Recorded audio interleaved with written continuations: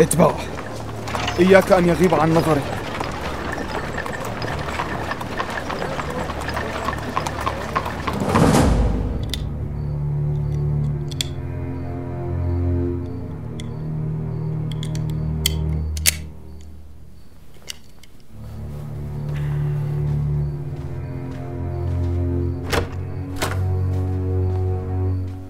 هل حصاني جاهز؟ جاهز سلطاني.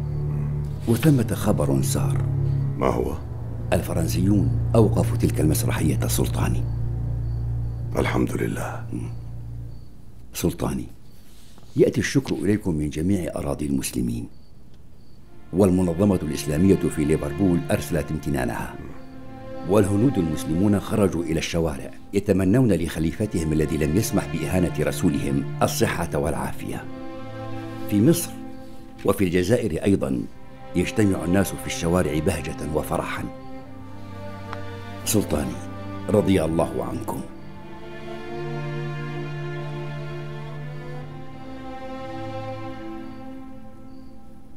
إن نلت شرف أن أكون خادم هذا الدين فهذا يكفي.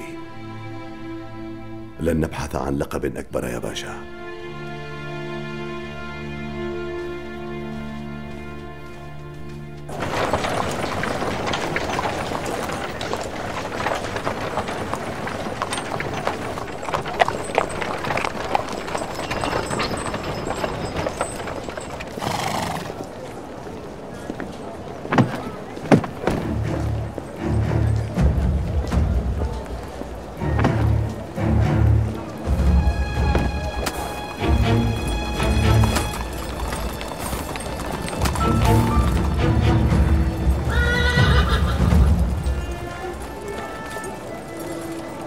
نقطع طريقه يا باشا؟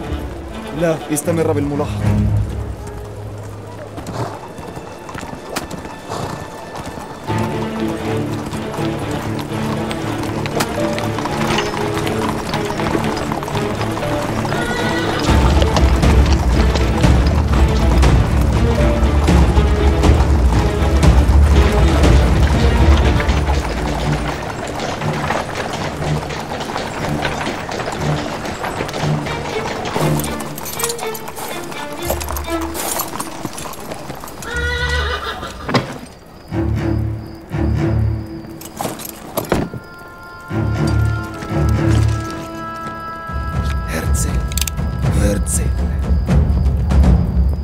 سلم نفسك يا تيودور هيرتزل هيا ارفع يديك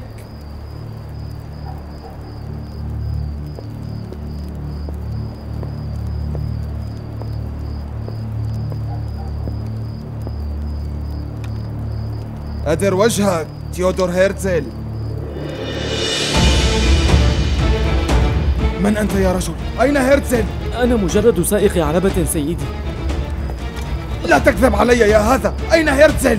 أقسم إني لا أعرف. أنا رجل يركض خلف رزقه. أفعل ما يطلبونه مني.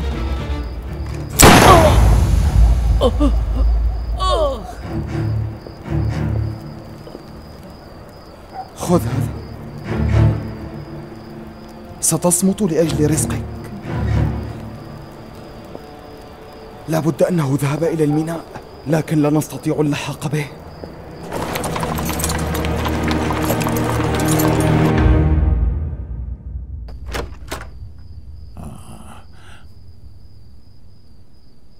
تفضل.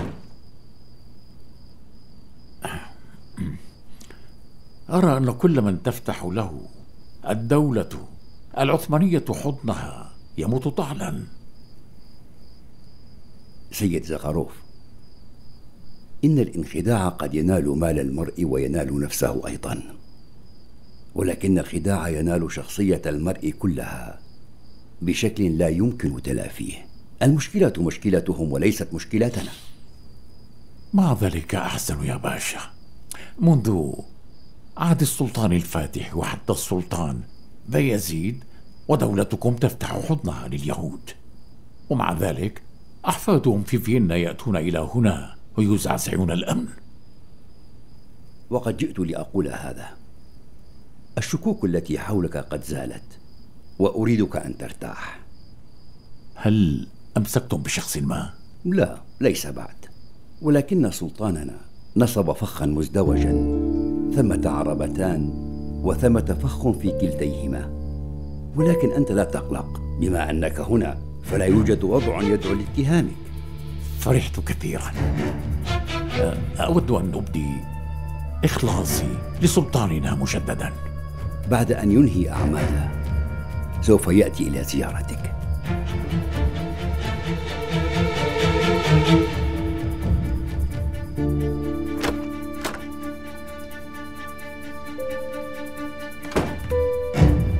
عربة ثانية. فخ ثان.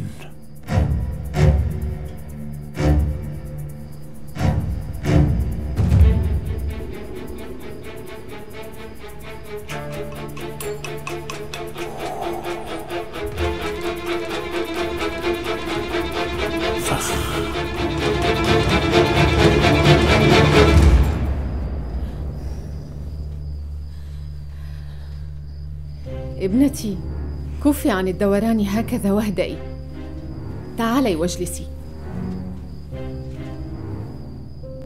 ماذا إن حصل مكروه لأبي؟ احفظه يا ربي. خديجة لن يحصل له مكروه. سينجو أخي بخير وسلامة. جيد ولكن كيف يا عمتي؟ ابنتي أثناء أخذ والدك إلى المشفى سيقطعون عليه الطريق. وفي حال عدم تسليمه سيهددون بقتله. هذه الخطة. وماذا إن قتلوه؟ شش. وهل يقتل أحد من الأسرة الحاكمة بسهولة؟ لا يمكنهم حتى لمسه فلا تقلقي. حسنا.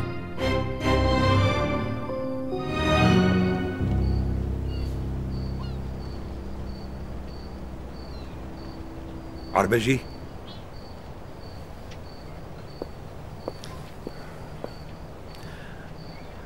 عربجي العمل الذي ستقوم به بعد قليل خطير. إنها مسألة مصيرية. هل فهمت بني؟ لكن يا سيدي أنا عربجي. أجيد كل الأعمال ولا يحصل اختلال في رتابة حياتي. أعطاك الله ما تستحق يا بني. أقول لك شأن يخص الدولة وأنت تقول قيادة عربة. أيها الأبلة هل خيالك وإدراكك بهذا القدر؟ انظر.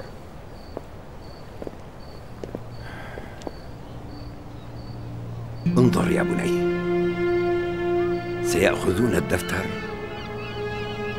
من السيد هيرتزل هنا. بعد ذلك سيأخذون الدفتر إلى القصر بتلك العربة التي هناك.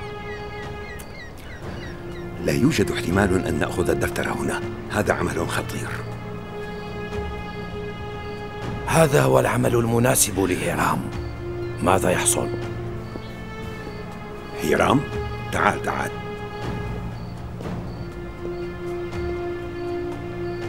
هيرام بقيت مسألة الدفتر. ويجب علينا أن نحلها أيضا. يا باشا كانت تربطنا إلى اليوم علاقة طيبة بك. أظن أن هذه العلاقة ستفسد بعد الآن يا باشا. ما الذي تفعله؟ تتكلم كلاما سخيفا. ضع السلاح في مكانه أيها الأخرق. لا يمكن أخذ ذلك الدفتر من يد هرتزل وأنا هنا يا باشا. هيرام. تعال. انظر هناك السيد هرتزل المكلف أنت بحمايته قد وصل أخيرا انظر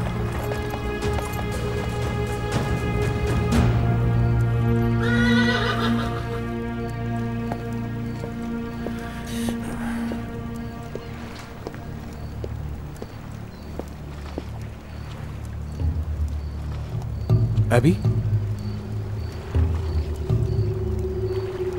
هل هذا أنت؟ ما الذي تفعله هنا؟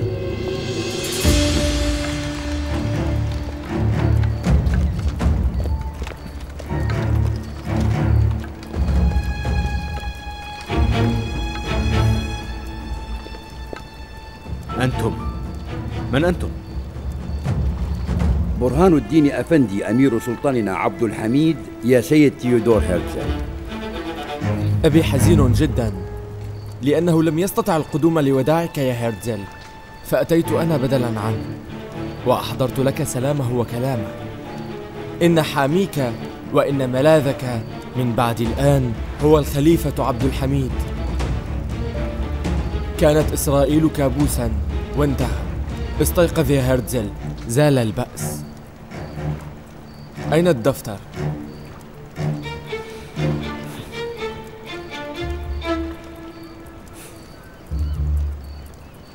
الدفتر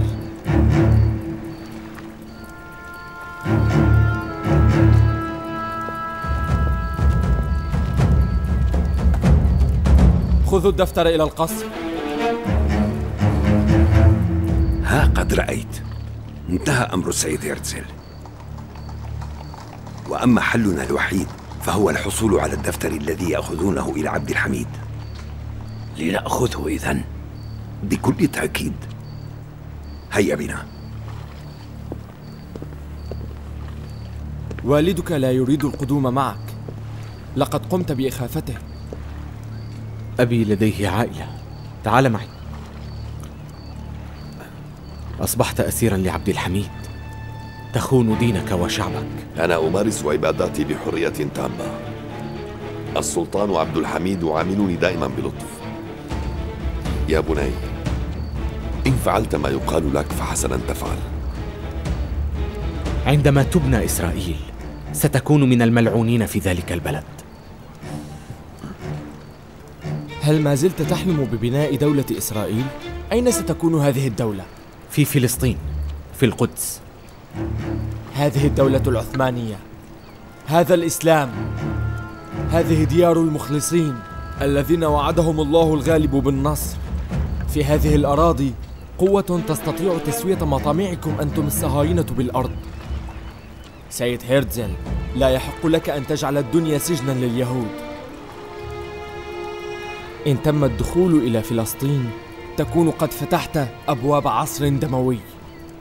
والمسلمون أيضا لا يهبون الموت أبدا.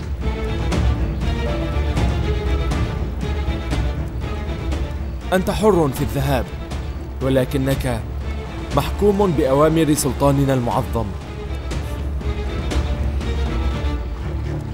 هيا.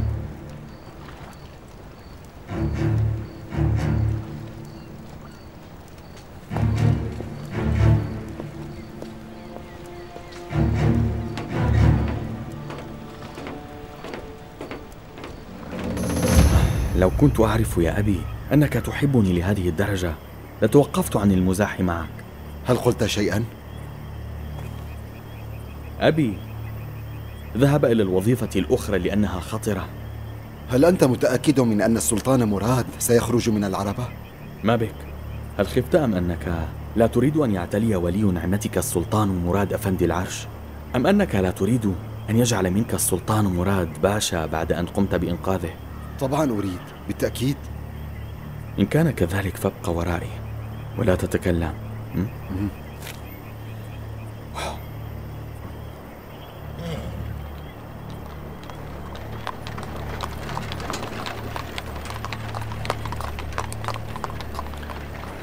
ابقى هنا. قد يكون فخا. لا تهمني روحي. مددت رأسي إلى فوهة السبطانة كثيرا. هف! أوقف العربة. هف!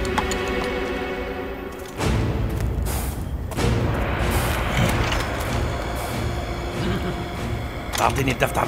أعطني وأنقذ روحك.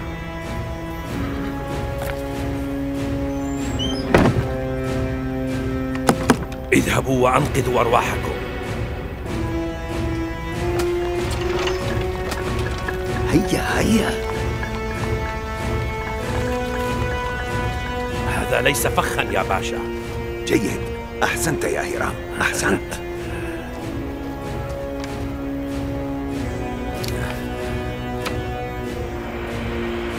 إنه فخ. صباح الدين. لقد نصبوا فخا لصباح الدين. ماذا؟ يا عربجي! يا عربجي! هيا بسرعة!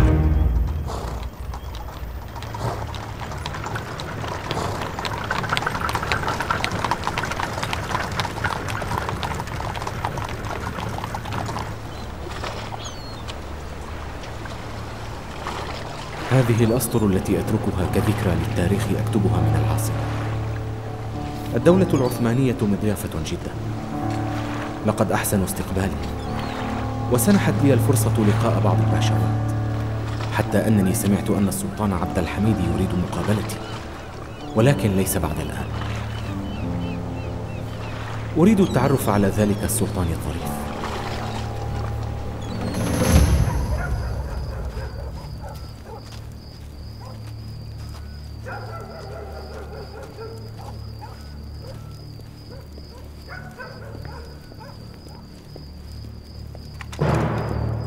الآن يا سيد هيرام بدأت قيامتك أيها المجرم.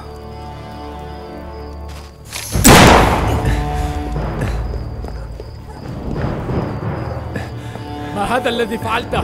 كان في طرف الفوهة هكذا كان يلزم. وهذا يلزمك أيضا. أنا أنفذ الأمر. أنا لا أسأل يا عمر بل أطيع. أمر من هذا؟ أجب. لقد هرب الكلب بسببك هل قال السلطان لا تقتلوه؟ أجل قال هكذا يا أخي فهمت غضبك هذا ولكن لا أفهم هل تغضب من أوامر سلطاننا؟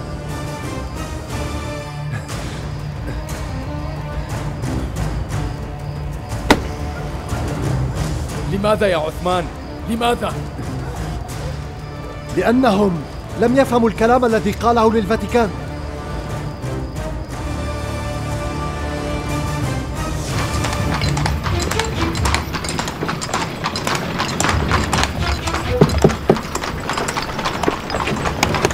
خذ بسرعة أكبر! خذ بسرعة أكبر! علينا اللحاق يا عربجي سيذهب رأس صباح الدين أسرع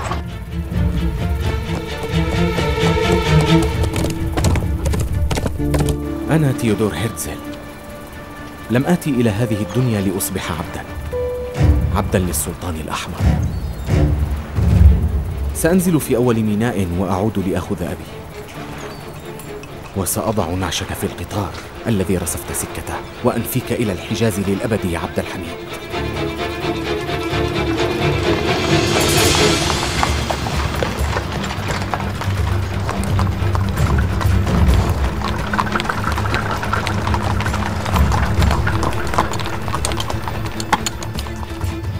يا عربجي إياك أن تتحرك. إن فعلت شيئا خاطئا سنقتلك ونقتل السلطان مراد.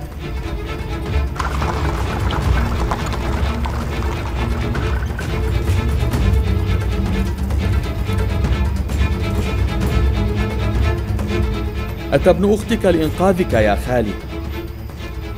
لا تخاف لن تموت. صباح الدين. ولدي. قبضوا على صباح الدين.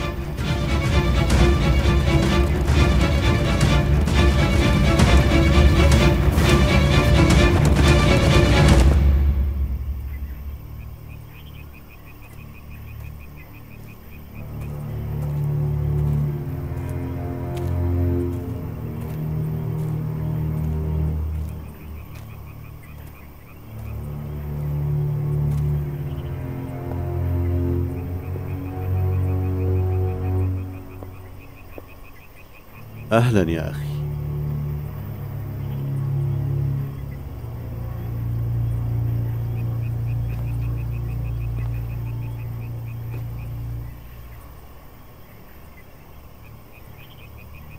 كنت أميرا ووليا للعهد.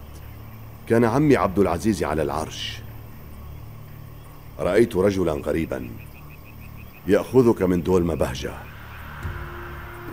فأثار فضولي فتعقبته. أخذك إلى بناء غامض في قاضي كوي. أدركت أنك التحقت بالماسونية. وأصبحت عضوا فيها. واعتبارا من ذلك الوقت دعوت دائما ألا ينزل عمي عبد العزيز عن العرش وألا ترزق بذلك العرش أبدا يا أخي. ولكن أنزلوا عمي عن العرش بانقلاب وقتلوه. فجلست مكانه وظننت أن الذين قتلوا عمي سوف يقتلونك أيضا. وخفت كثيرا. خفت لدرجة أنك فقدت صحتك العقلية. ورزقت أنا بالعرش العثماني. ومنذ أن اعتليت العرش وأعداؤنا يقومون بتهديدي بك على الدوام. لم أشأ أبدا أن تتعرض للأذى. ولكن طالما أنك موجود سيظل أعداؤنا يأملون المدد منك. كانوا يأملون أن يقتلوني مثل عمي عبد العزيز وأن تحل أنت مكاني ويقضون على دولتنا. أنا لم أقدم على هذا أبدا. بل أقدمت. كان لديك علم بتهريب علي سوافي لك. كان لديك علم برغبة أختي سنيحة ومحمود باشا. بتهريبك وجعلك تعتلي العرش قبل سنوات. ولكن بعد تلك الحادثة وبعد أن رأيت رحمتك بمسامحتك لمحمود باشا ولأختي سنيحة بعد كل ما حدث لم أشأ إطلاقا. لا أعرف قلبك والعدو لا يعرف هذا. نمر الآن بأوقات صعبة. وجودك قد أعطى العدو الشجاعة والأمل دائما. قاموا بحملات لينزلوني عن العرش وجعلك أنت تعتلي العرش مكاني وما زالوا يقومون بذلك.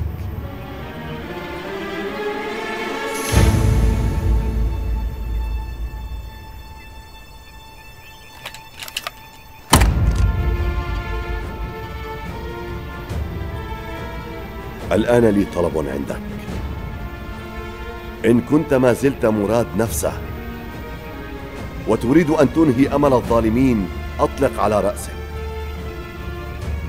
وإن كنت ستصبح سلطان هذه الدولة وهذه الأمة وإن كنت ستصبح خليفة الإسلام وإن كنت قطعت صلتك بالماسونيين وإن كنت ستصبح سدا في وجه كل الظالمين ونفسا للمظلومين أطلق علي.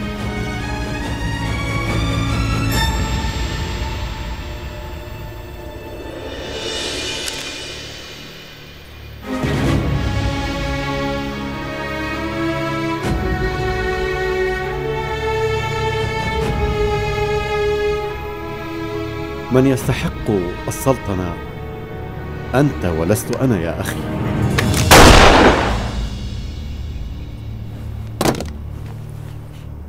أخي الكبير يا قطعة من روحي لقد أحببتك دائما ولكنني أحببت دولتي أكثر من أي شيء آخر. هذه الرصاصة التي أخطأت هدفها إن اشتممت بعد الآن. أي رائحة للخيانة؟ لن تخطئ هدفها. أعطني يدك أنت سلطان العرش العثماني والحجاز وأراضي البلقان والعراق وسوريا وجبل لبنان وكل العالم الإسلامي يا أخي. أنت خليفة المسلمين يا سلطان. أنا أبايعك. يا سلطاني أنت سلطاني عبد الحميد.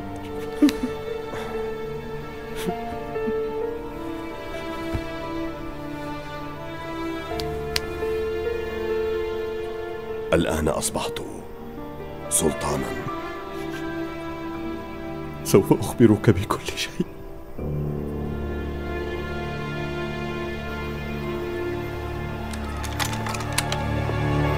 ارمي سلاحك. ألقوا القبض على صلاح الدين وأنا لا أستطيع فعل شيء. كيف مكانك؟ إنني عاجز. افتحوا الطريق. إنهم يأخذون ولدي. سامحني يا ولدي. لم أستطع اللحاق بك. سامحني. صلاح الدين.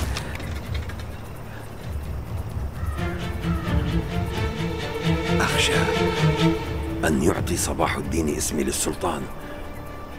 لنقم بحملة. لنسوي هذا الأمر.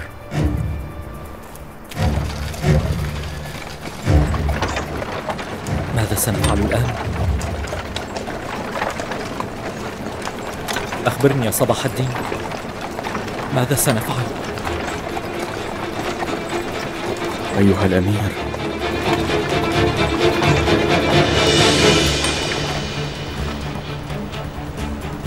إن عدت إلى فيينا سأبقى أسيرا طوال العمر.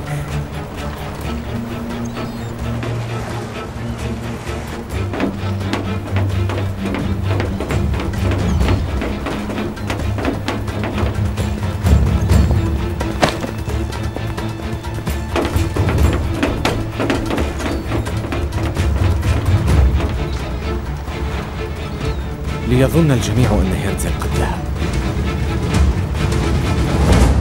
سلطاني لقد خدعوني ووعدوني بأن أعتلي العرش. ولكن أقسم بأنني لم أكن أعرف أنهم سيقتلون عمنا عبد العزيز. قبل أن أعتلي العرش قمت بإعطائهم بعض الوعود. ما هي الوعود؟ وعود متعلقة بالدولة العثمانية. وأنت لم تفعل شيئا مما طلبوه وفعلت كل ما طلبوا مني ألا أفعله. في السنوات الأولى من سلطنتك طهرت الدولة من الخونة وفتحت المدارس وجددت الجيش وأصبحت الصاحب الحقيقي للخلافة وأدرت الدولة حسب أسس الدين وهذا كله أزعجهم كثيرا. لأنهم كانوا يعرفون أنهم لن يستطيعوا هزيمتك. كانوا يعرفون أنك تملك عقل جدي الفاتح وتملك شجاعة ياوز سليم خان وتملك عدالة السلطان سليمان القانوني. فانتظروا إلى أن قمت أنت بأكبر حملاتك أيها السلطان. ما الذي جعل صبرهم ينفد؟ السكه كانوا يتحملون كل شيء إلى أن تموت ولكن ربطك للأراضي الإسلامية ببعضها عبر سكة حديدية أمر لم يستطيعوا تحمله. لأن هذه السكة ستصعب الاحتلال كثيرا وربما تجعله مستحيلا. لقد أدخلت العصا في جحر الأفعى وحملة السكة الحديدية جعلت الحرب تندلع. ناهيك أنك بقوة الخلافة وجهت ضربة كبيرة للإنجليز في الهند. الآن لم يعد لديهم حل آخر سوى قتلك. لم ينجحوا بذلك. وعندما لم ينجحوا حاولوا هدمك من الداخل فقاموا بحملة سوق البورصة. ولم يفلحوا. بعد ذلك قاموا باستفزاز الأرمن. لكنهم فضحوا. التف كل شيء بأقدامهم. تركت لهم حلا وحيدا.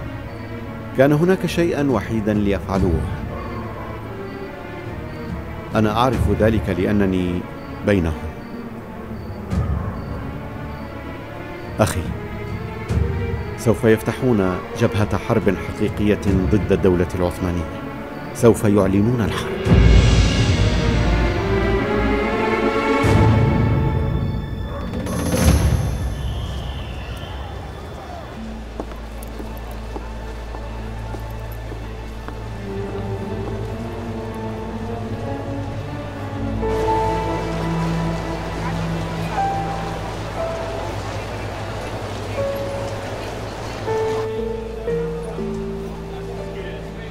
هيرتزر ماذا تفعل هنا؟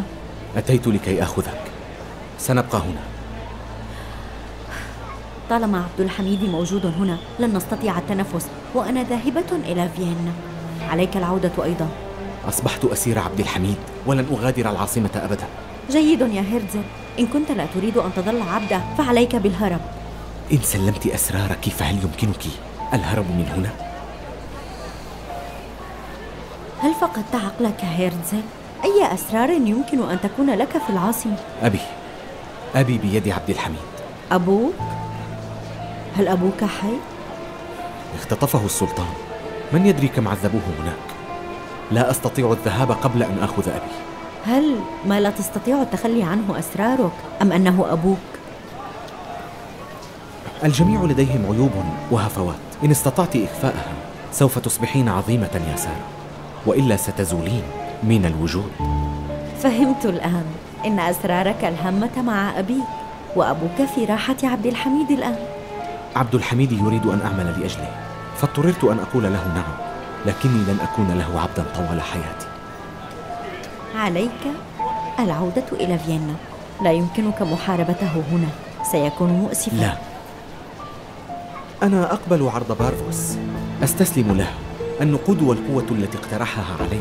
أقبل بها. سأقف الآن أمام عبد الحميد تحت درعه وبسيفه.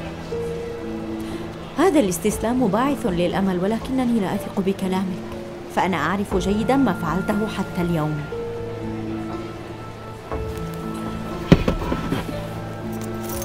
أنا نار الآن وسأحرق الجيش الذي سيعترض طريقي ولو كان بداخله أبي. وأريدك بجانبي. ألا تخاف أن يلقى القبض عليك؟ إنه يظن أني في فيينا من؟ الإنجليز لن يستطيعوا محاربتنا لماذا؟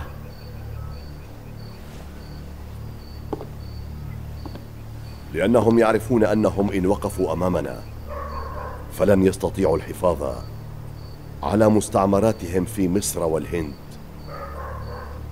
المسلمون الذين سيرون تعرض الخلافة للخطر سيحتجون. في هذه الحالة سيستخدمون أداة ما.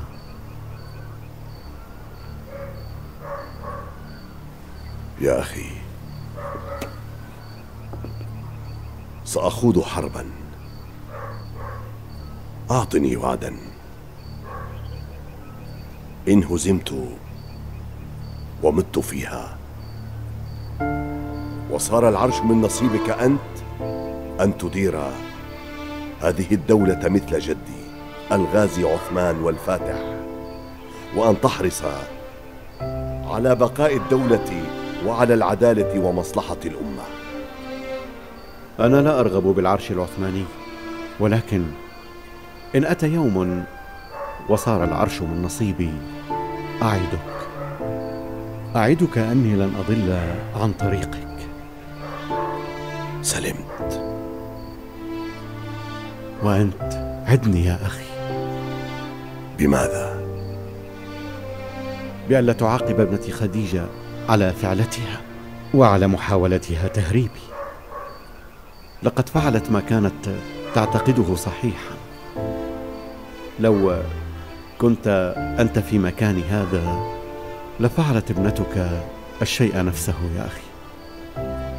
اطمئن يا أخي. إلى أين؟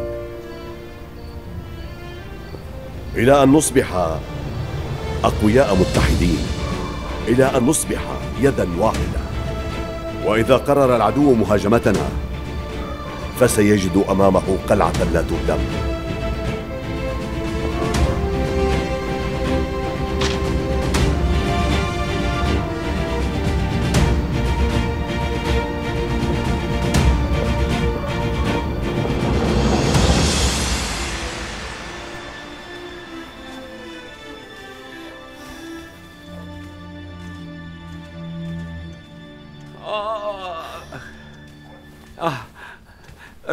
يدور يا سنيحة. سوف يغمى علي. ساعديني. هيا ساعديني. بالله عليك ما هذه الحال آه. التي أنت فيها؟ آه. آه. سيغمى علي. والله سيغمى علي. اجلس واهدأ آه. إنك رجل كبير وبالغ وفي الوقت نفسه باشا. هل يليق بك أن يغمى عليك كالذين لم يشتد عودهم؟ سنيحة. ما الذي حصل؟ لو الأمر متعلقا بي لما همني حتى لو تلقيت ضربات بالسيوف أو انهال الرصاص على رأسي كالمطر الغزير؟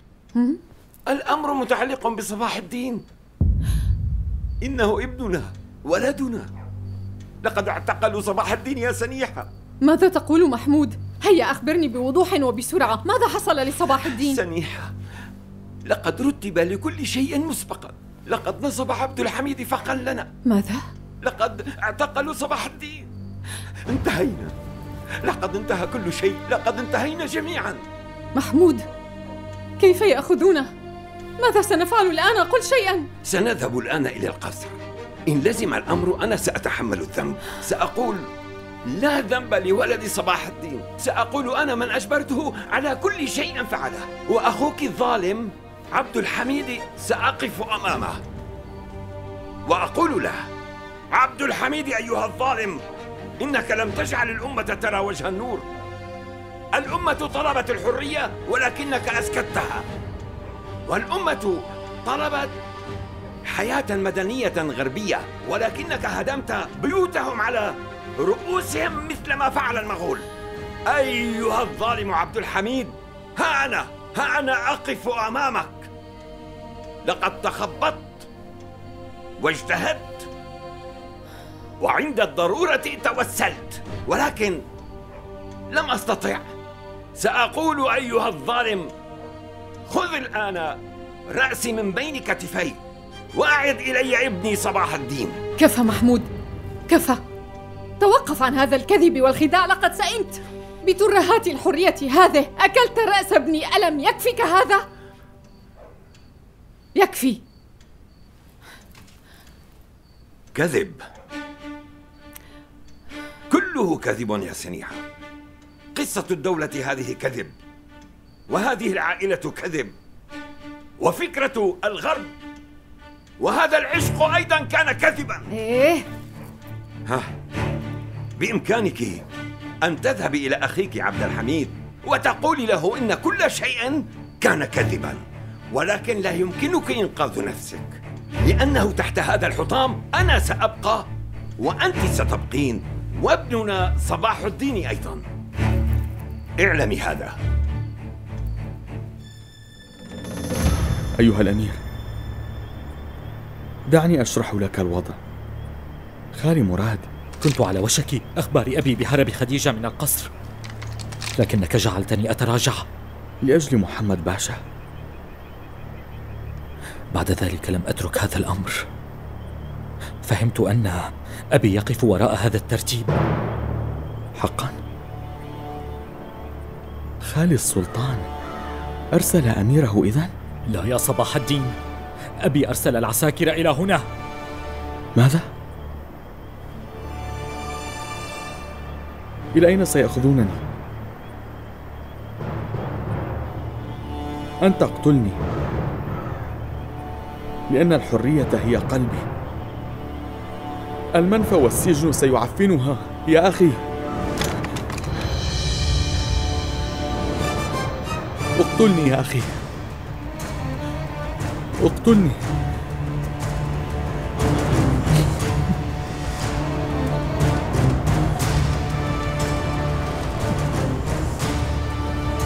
اصمت يا صباح الدين.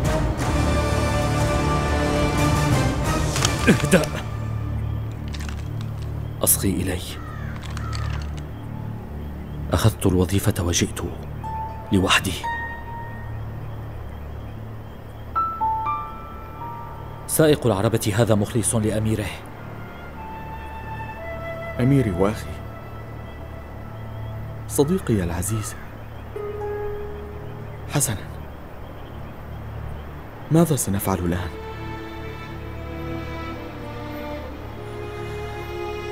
لا أستطيع أن أعود إلى القصر. خالي الوفاض. علينا أن نقدم قربانا.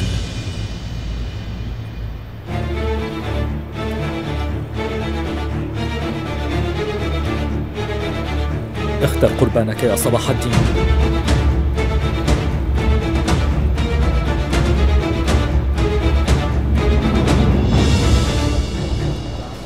نعم. ألن تتكلمي؟ تكلمت مع بارفوس وقد وعدني أن يلبي كل مطالب شعبك الإنسانية والمدنية. والمال؟ نحن بحاجة إليه؟ المال خرج إلى الطريق منذ زمن والآن سيطرق الباب. إنه اللورد كونراد. أتى من لندن. شخصيته مؤثرة. علاقاته عظيمة لكنه موسوس وغريب الأطوار.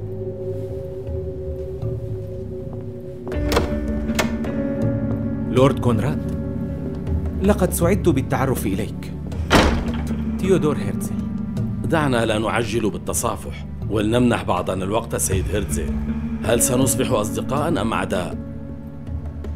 أم سنبقى غير مبالين تجاه بعضنا؟ سنفهم هذا مع الوقت م? إن قدومك إلى العاصمة منحني سعادة وأملا كبيرا أيها اللورد كونراد تفضل. شكرا.